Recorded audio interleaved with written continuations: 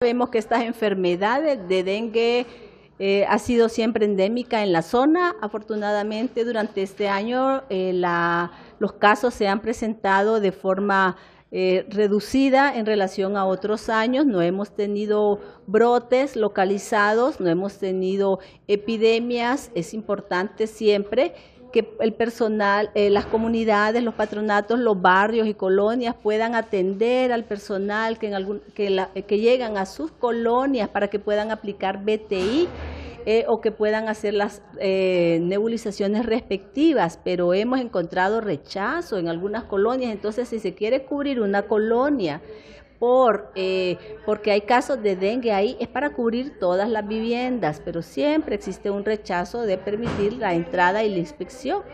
Eh, si queremos decirles también que el COVID-19 eh, ha sido también una enfermedad que afortunadamente con la cobertura de vacunas que se ha tenido, se ha reducido enormemente esta enfermedad. no hay una circulación grande del virus o al menos no tenemos eh, la incidencia ya que las personas no están acudiendo a realizarse la prueba. Queremos decirles que aquí en la región sanitaria se realiza la prueba de COVID cuando tengan esa sospecha. Es importante conocer dónde están esos focos de COVID.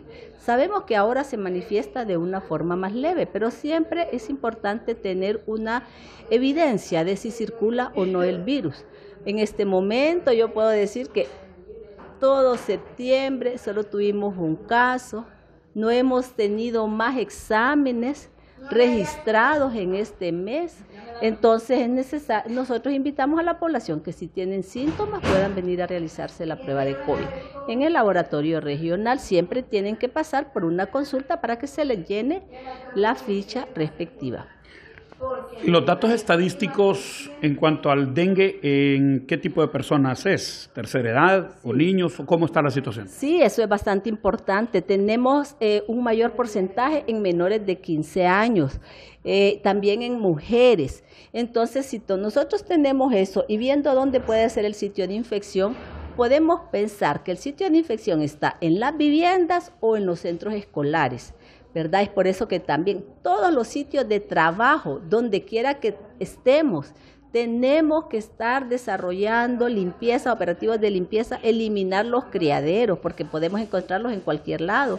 Y eso es responsabilidad de todos, no es de una sola persona.